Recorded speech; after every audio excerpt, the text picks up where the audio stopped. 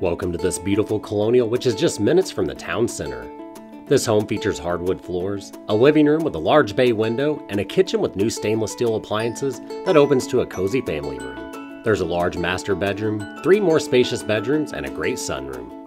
The large yard is great for entertaining. Learn how to make this home yours with a call to Robin Thurston and Laureen Kennedy.